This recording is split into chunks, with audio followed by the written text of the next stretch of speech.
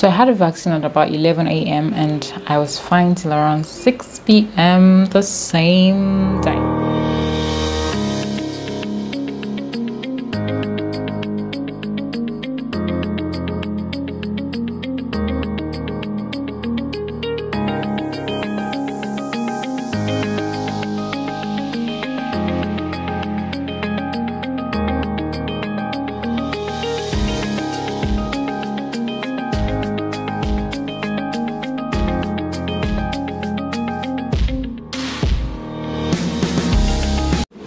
Hello cherry dears hello cherry dears welcome back to another episode on this channel. My name is debbie and i have missed you guys so much.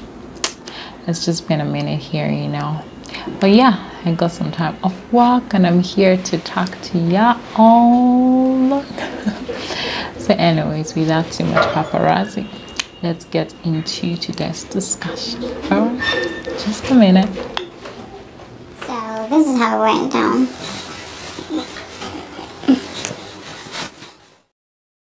So this is how it went down. Right? To on the day of the vaccination, I was with a colleague. So we'd had we done morning rounds on the on the ward. So we were just taking a break, and then she talked about the vaccine. I was like, okay, yeah. So just true. The vaccine is close by. They're just giving it like just a stone throw from where we were.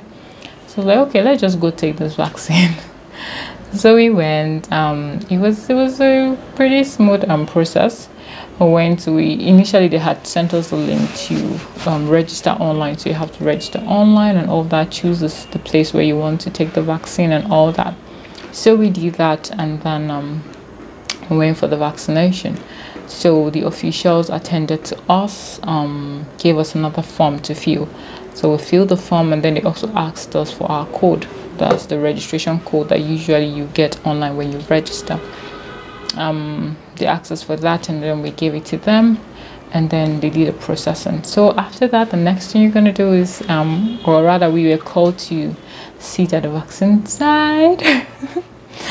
Gosh so the vaccine is given to you. You get the vaccine on your left arm your upper arm um, so you're not supposed to rub in the vaccine. Once it's injected you, just, you don't even press it in just just hold it um, for some time. At least the nurse that gave me that, gave me vaccine actually did that. So we're asked to wait for like 15 minutes within the, or just to be sure that there were no reactions or any issues. And then after that, we went, or we left rather.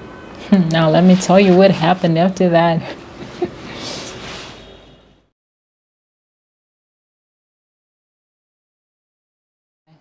So um, the reason why I actually even decided to take the vaccine was the fact that um, I'm a medical doctor and I work um, in close contact with patients. So we meet a lot of patients, we see a lot of patients day to day. So it's you don't know who you're going to meet. So I'm amongst the high risk group of people for COVID. So or for yeah contracting COVID so it's just necessary that I take it, do all I can do to protect myself. The second reason is that I feel that this is going to be a, an international requirement soon, you know, because people are, you know, measures have been put in place concerning the protection against COVID and you know how it affected the economy of countries and all that. So I see or I feel that um, in the long run, sooner than later, you know, countries will be expecting a proof of vaccination, a proof of some sort of prote protection from especially people coming into their country, you know, to so that to be able to protect their own citizens. It's just the same way like with polio. Some countries where you're traveling, especially when you're from Nigeria, when you're from West Africa, most times they'll ask you for a proof of vaccination against polio, against yellow fever, and all that. So, COVID, I feel like will become one of those things that you have to show a proof of vaccination against and since it's free now and um, it's just at my doorstep so it just just made so much sense to just do it at once and get done with it so that you get you know i can just know that this is i've gotten over with this now prior to this i had um um, the means of protection we used here was um,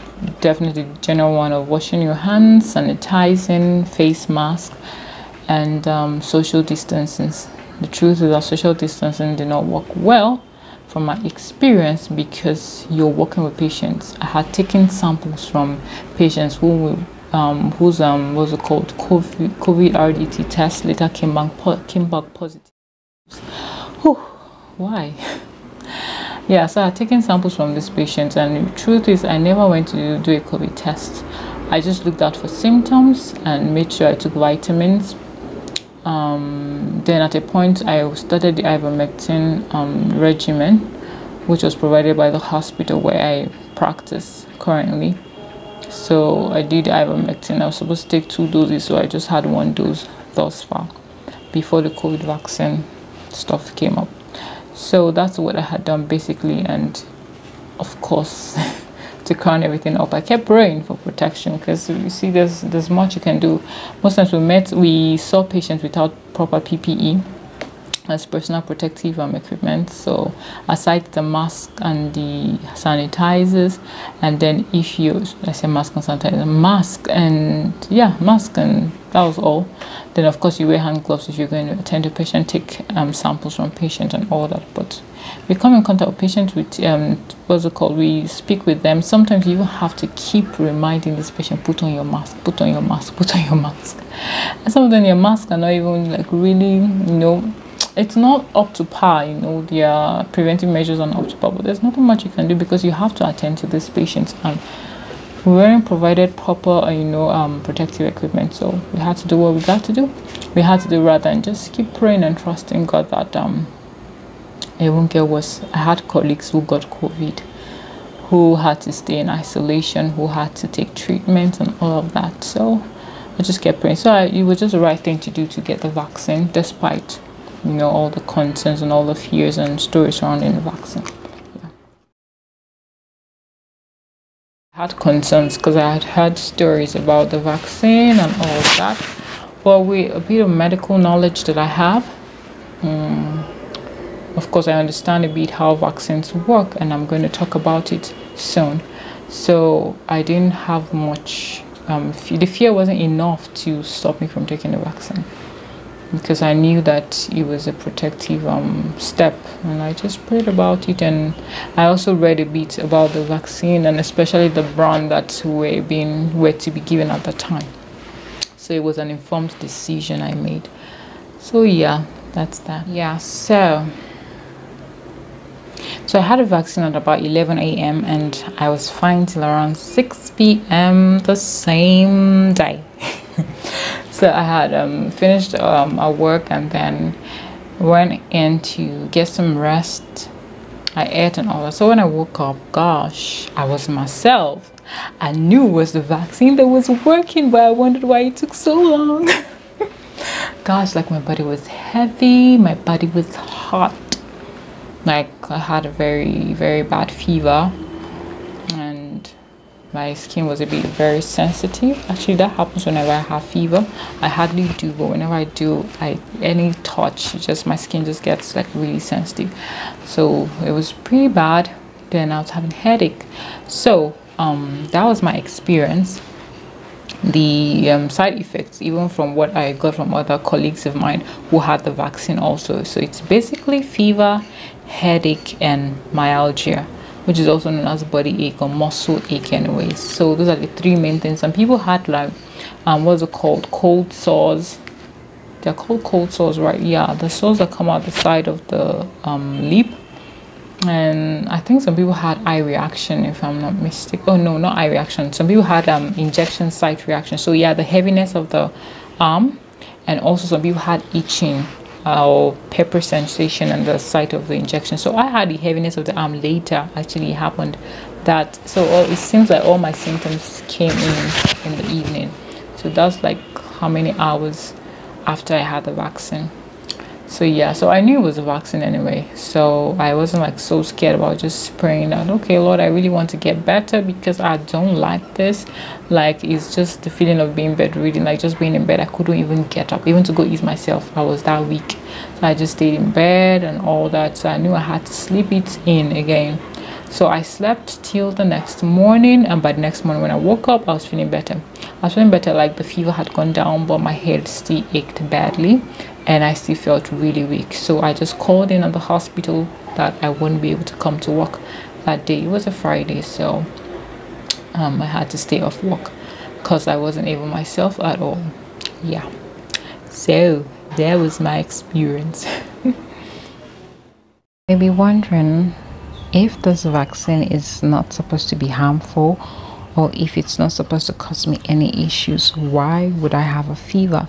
Or why these reactions that um, occur with the vaccine. Now, the first thing I want you to know that the reactions, the fever, the headache, and myalgia, which are the most common reactions of this COVID 19 vaccine, is not peculiar to COVID 19 vaccines. Mostly in children, when children are given vaccines, they have these reactions, they have the fever, especially. Now, I'm going to explain why you would have fever on getting a vaccine. Now, first thing I want you to know that vaccines act by stimulating the immune system.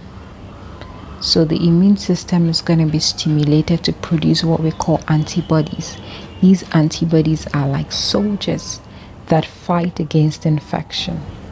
How they do this is to recognize the antigen on a microbe. So it could be a virus, it could be a bacteria, it could be a helminth, but in this case, it's a virus. It could be other things also, but in this case, it's a virus. So the antigen is like a part of the virus in this case that the immune system of the body is able to recognize and say, hey, that's something alien. Hey, that's not part of this place. What's this doing there? Let's go attack it, right? So, this same antigen is usually present in vaccine but usually it's in a less virulent form. That means it's not supposed to cause the actual disease. So the difference between a, uh, an antigen in a vaccine and an antigen in um, the actual disease or actual infection is that the actual infection the actual infection will actually cause actually stimulate an immune response but also go on to cause the disease to cause an infection because the body was not prepared for this kind of infection before. But in a vaccine, the harmful part has been killed in quotes so that it just stimulates the immune reaction but does not go on to cause the disease in the person who's taking the vaccination. So, why the fever? Now, when um, stimulation of the immune system occurs, Usually, it's accompanied by fever. Now, fever is caused by something because substances we call pyrogens. Pyrogens are fever inducing substances. Now, they can be endogenous, that's within the body, that's from the body, or they can be exogenous from outside. So, exo exogenous pyrogens are going to be endotoxins of um, bacteria these endotoxins go on to stimulate the body's thermostat and cause fever. Then exogenous, I'm sorry, endogenous um, pyrogens are substances called cytokines mostly. One of which is interleukin 1. So cytokines are usually released in response to immune stimulation and they do the work of trying to wake up the bodies the rest of the body's immune system tell it what to do you know put everyone like divide the work okay you go process this process that in order to make antibodies and keep the body aware of these invaders.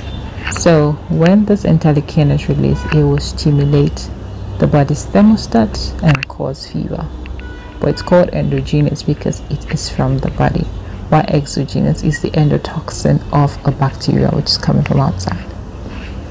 These are medical and biological, okay, biological and chemical terms also, but I'm just trying to um, explain to you why you'd have a fever when you get a vaccine. I hope you understand that.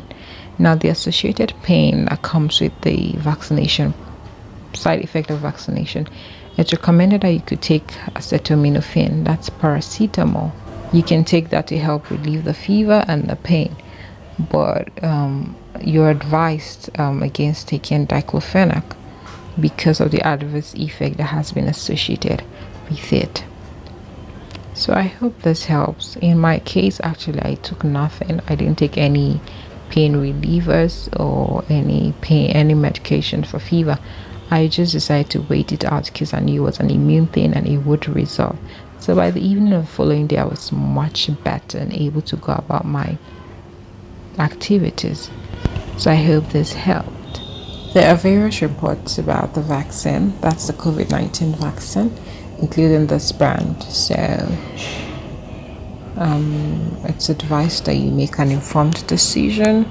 Um, what I have shared here is my personal experience of taking the vaccine.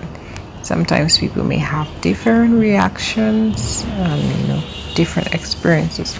But based on my experience and what I also garnered from my colleagues who took the same vaccine, I've shared based on that. So please kindly do make an informed decision on what you want to do. Thank you. I wish you all the best. Stay safe. So, guys, my beloved cheerleaders, thank you so much for joining me on this episode. I hope you enjoyed it. I hope you learned one or two things from it. So, don't be scared of taking the vaccine. That's my conclusion. You're going to be exposed to people. You know, this thing is most likely, you know, going to be around for some time. So, well, take good care of your health also and let your immune system, you know, be okay. So that'll be all for now. Thank you so much once again. I hope you enjoyed this. So till next time, I am Debbie. Bye.